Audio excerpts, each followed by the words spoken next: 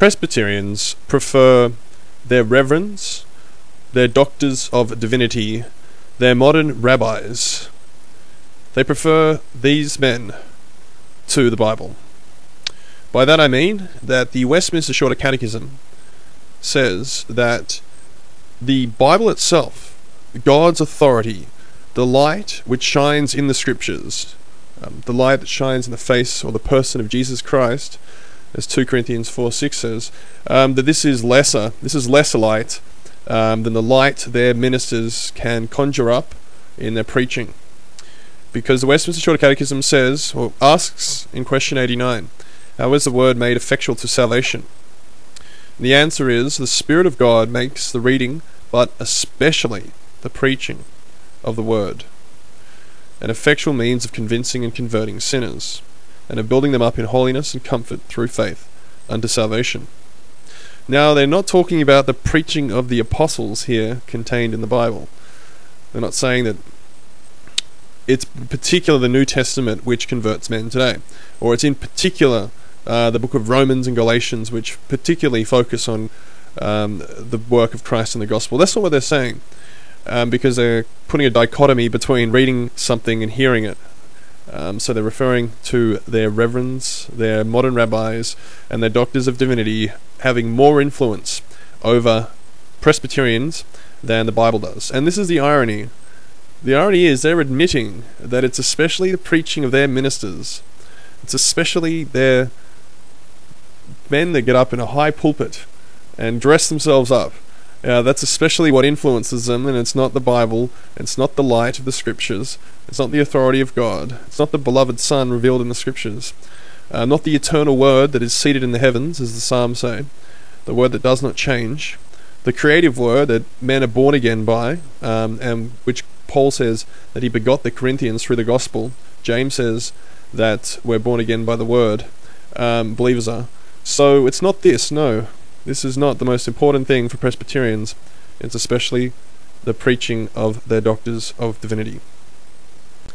Now, before I get another comment or a message on YouTube from a devout Presbyterian or follower of a creed or a confession saying that I'm misrepresenting and I'm taking these out of context, let me give you another quote, this time from the confession. Uh, I have to skip down to the underlined bit.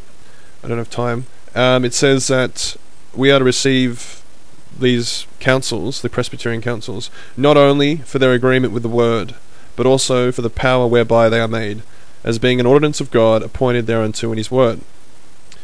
So we're to bow down to their ministers, doctors of divinity, and super eminent theologians.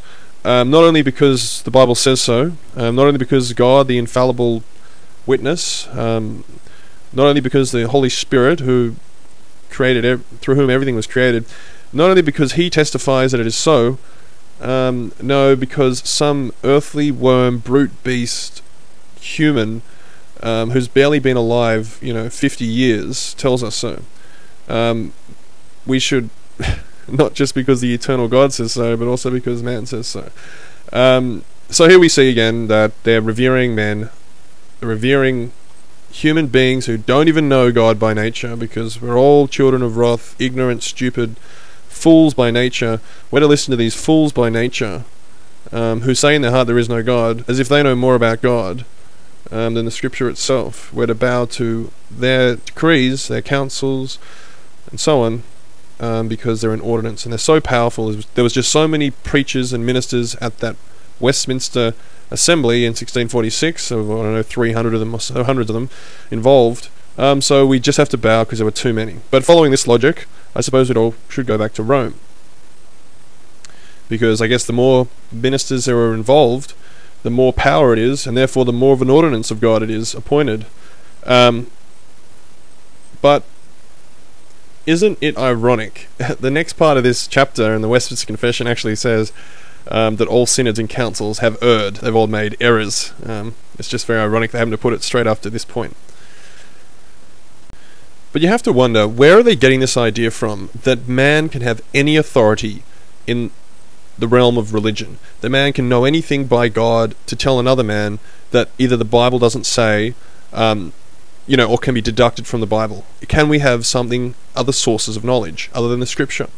Well, Westminster Confession, chapter 1, first line of it says, The light of nature and the works of creation and providence do so far manifest the goodness, wisdom, and power of God as to leave men inexcusable. And the larger catechism in question 2, How does it appear that there is a God? says, The very light of nature in man and the works of God declare plainly that there is a God. So, according to the catechism, the larger catechism, there is in man already truth people already have knowledge of God deep down, embedded in their conscience. And so you hear people like Piper saying we have an inner voice screaming out to us to accept Christ. Um, that's one consequence is you start directing people listen to your inner voice listen to your inner voice um, because apparently there's truth down there by nature the other consequence is obviously that you start revering men um, once you start thinking that people by nature are, have truth and knowledge, well, you think, I should listen to man. Man by nature has truth and knowledge, so there's nothing wrong with giving an ear to another man in the matters of religion without testing it by the scripture.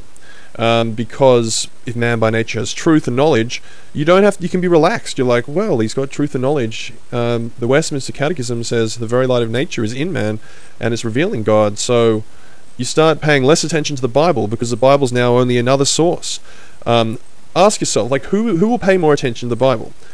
A guy who thinks the sky reveals God, my my heart reveals God, and the Scripture reveals God, or another guy who says it's the Bible alone, it's by faith we know the worlds were framed by the Word of God. Hebrews 11 verse 3 who says that the world by wisdom knew not God, and I'm no better than the Gentiles, so I can't figure out God either, except by the Scripture because fools say in their heart there is no God, and the fear of the Lord is the beginning of wisdom. So unless I believe and fear and revere the Scripture, I can't have any knowledge of God at all. That man will not be paying attention to synods and councils and all the modern rabbis.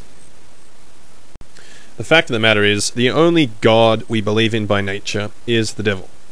1 John 5:19 The whole world lies in the evil one or evil, the wicked one, 1 Kings 18:27 Elijah taunted them and said, "Call with a loud voice, for he is a god, for he is meditating or pursuing or on a journey. It may be he is asleep or must be awakened." And the things the Gentiles sacrifice, they sacrifice to demons. So the god that the Philistines were worshipping was Satan himself, or demons, or um, false gods and idols are all the same thing. It's just a delusion of Satan, as Galatians 4 8 to 9 says. But then, indeed, not knowing God, you served as slaves to the ones by nature not being gods, but now knowing God.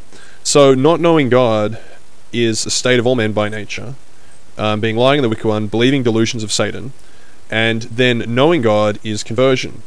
So, in actual fact, the evidence of a believer's salvation or the grounds for his assurance is actually the Bible itself, or the existence of God itself, will give the believer sufficient, like all the comfort and assurance he'll ever need. Because prior to his conversion, he didn't know, he did not know God at all, according to these four verses.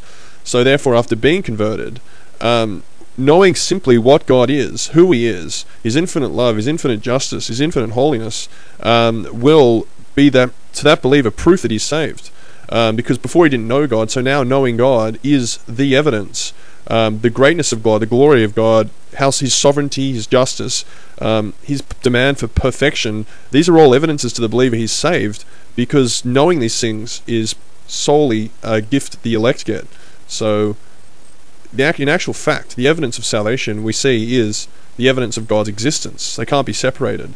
So, if someone's doubting their salvation, they're an atheist because according to these verses, to know God Himself, to know who He is, what He's done in Christ, um, is eternal life. So those people who doubt that Christ's work is enough and so on, or that they're believing or they're not sure, um, they're clearly evidencing that they don't know who God is, because the evidence that someone is saved is God's existence. Um, so therefore, to doubt you're saved is to doubt God's existence.